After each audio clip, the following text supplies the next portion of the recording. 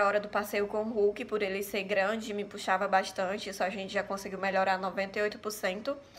Com bastantes treinos, eu acredito que a gente vai ficar nos 100%. Cheguei a duvidar do, da eficácia do Manual do Cão Ideal, mas hoje eu tenho a plena certeza, eu prova viva, sou a prova viva de que funciona realmente. E se eu tivesse conhecido o Rafa e o Manual do Cão Ideal antes e soubesse da eficácia dele, é, eu já teria me inscrevido nessa turma.